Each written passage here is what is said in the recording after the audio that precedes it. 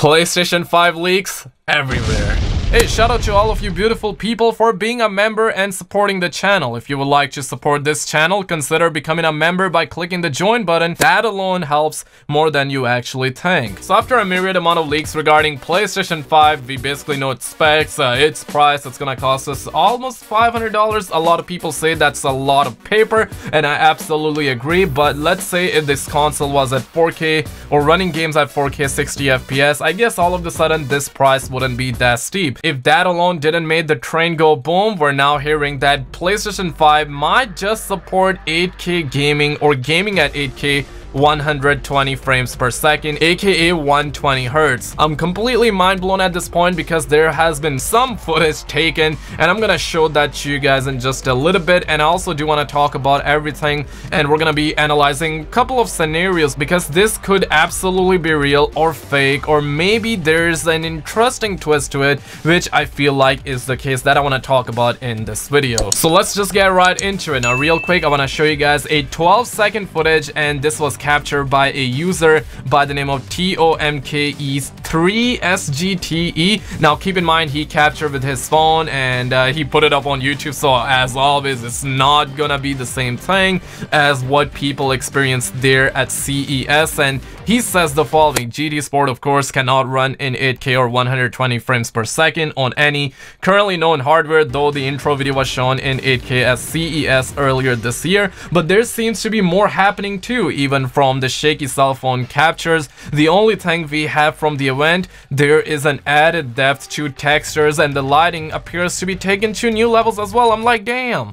Because uh, we can see that this is truly the, the Gran Turismo and Gran Turismo is basically a game that mostly always launches with the Sony PlayStation consoles whenever the console launches. And I personally feel like that this console will support 8K gaming and at 120 FPS, but there's a big but in this situation, but there were a lot of articles written about it. Now, first of all, I want to dive into the meat and potatoes, and then we're gonna dissect everything as fast as possible, but basically the article says the following, though Sony did confirm that the PlayStation 5 was currently in the works, we haven't heard anything more concrete about the next generation since then. We've had leaks, rumors, and patent reveals, but nothing firmly from Sony themselves about what's to come. Tokyo recently just held their annual Inter BEE conference this year and Sony had something special to show up. This expo runs similarly to that of the Consumer Electronics Show in Vegas CES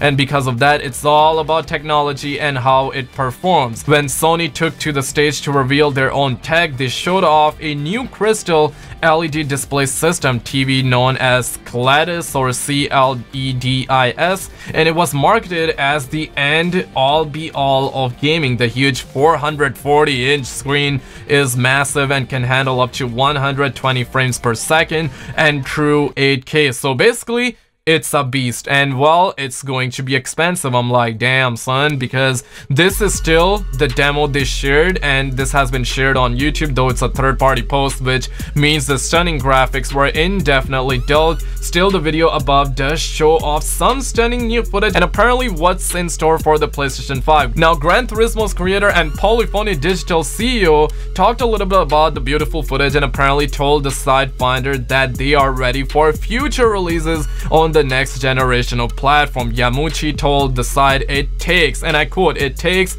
six months to create a single car it overspec for the PS4 Pro, so we are building for future versions of the console rather than the one we see today. I think it would be no problem to run it at 8K even, end quote. With other developers having already confirmed that they are currently working on their own titles for the next generation, this first look makes us very hopeful about what's the next next for console gaming.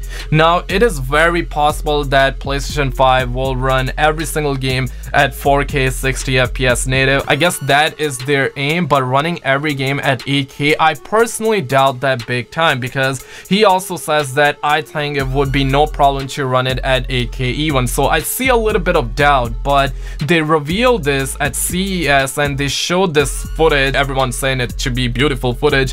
They showed it on an 8K monitor which is 440 inches I mean that's just crazy and it was running at 120 frames per second. So this is way above my expectations and if every game's gonna run this way, I guess that the future is gonna be very bright for the gaming, but certainly would be very expensive overall if that is true. But there could be three different scenarios. Number one, they were just marketing their television and they were just outputting or maybe upscaling, but I guess that word is nowhere near to be found in this article and uh, people are not talking about that. So I really think that it wasn't really outscale, it was just output. Basically, everything they were showing was running at 8K, 120 frames per second native, and I'm not sure that I'm kind of surprised. But my personal bet is that Gran Turismo is gonna launch with PlayStation 5 and it will be running at 8K 120 frames per second. But then if we're talking about other developers, I guess it's safe to assume that they will be targeting 1080p 120 FPS or 144 FPS and most likely 4K but at 60 FPS. Maybe at 120 FPS, I mean if they can run Gran Turismo